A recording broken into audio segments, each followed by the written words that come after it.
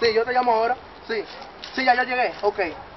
Pastor, Hermano querido. Dios me le bendiga. ¿Cómo está usted, Amén. distinguido? Todo bien, gracias. Wow, qué privilegio venir a visitarlo, pastor. Amén, amén. Pastor, me está sucediendo algo. Yo he venido donde usted para confesarle lo que me está sucediendo. ¿Qué le pasa? Mire, pastor, donde yo me congrego, tengo mucho tiempo congregándome ahí fielmente. Yo soy un joven que tiene shy, aleluya. Wow, siento a Dios, pastor. Tengo mucho potencial de parte del Señor. Pero en esa iglesia donde me congrego, pastor, a mí no me dan oportunidad.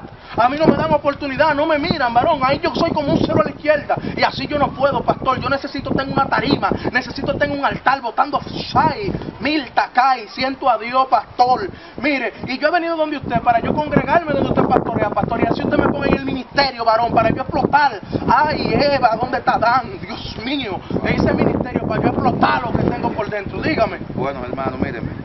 Eh, ahora mismo en la iglesia donde estamos, el único ministerio que podemos abrirle una puerta Ajá. es barriendo la semana y lavando los baños. Pero mire, pastor, no hay esa falta de respeto y de perdóneme. Pero yo soy un joven que tiene, tiene un potencial divino de parte del cielo, varón. Yo necesito estar en las naciones, varón, que todo el mundo me vea, Sí, pastor. pero usted puede comenzar No, no, no, no, déjele eso a una ancianita que limpie la iglesia. Yo Bueno. no, pastor. Bueno, eh, de la otra forma es que yo con este megáfono todos los lunes, los martes, los miércoles salimos a la calle a regar tratado y comenzamos así y usted puede decirle a la gente que Cristo viene, que Cristo salva y usted puede quedar Pero mire, pastor, y eso a las 12 del día, con ese solazo. No, varón, yo no soy gente de eso, de estar en la calle corriendo. Hoy en día hay un sinnúmero de gente que quieren brillar, porque eso es lo único que andan buscando. Salir en portada, salir en los afiches y estar en los medios, pero no quieren hacer la real voluntad de Dios. Porque hoy en día todas las personas piensan que el ministerio es un estrellato. El ministerio es para brillar. El ministerio es para yo estar en una tarima. Y por eso muchas personas ya no quieren hacer la verdadera voluntad de Dios. Todo el mundo quiere fama.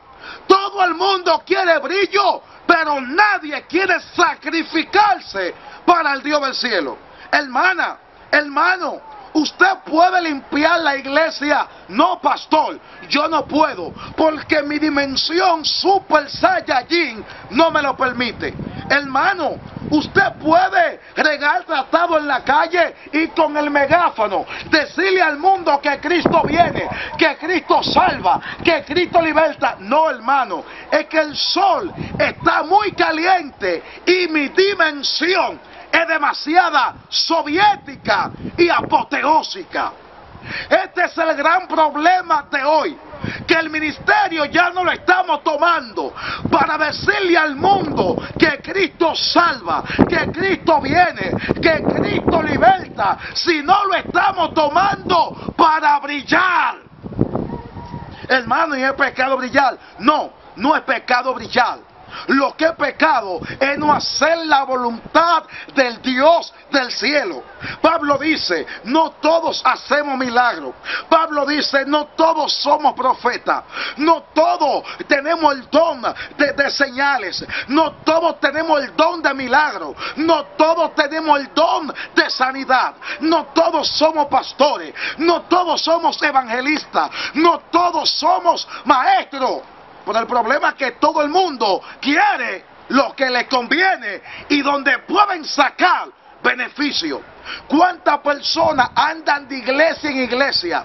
Andan como chivos saltarines. Hoy en día soy católico, mañana soy mormón, otro día soy testigo de Jehová, el miércoles yo soy evangélico y no saben ni para dónde van, ni para dónde vienen.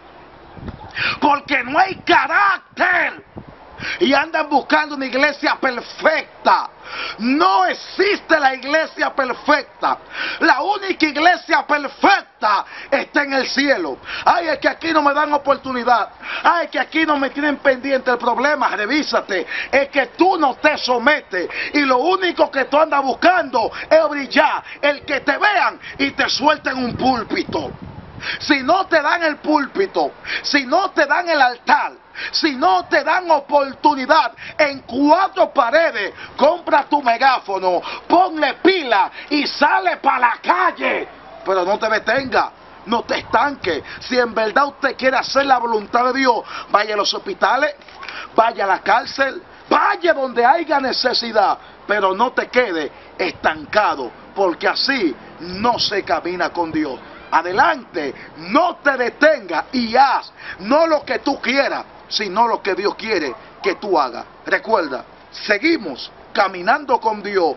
CCD.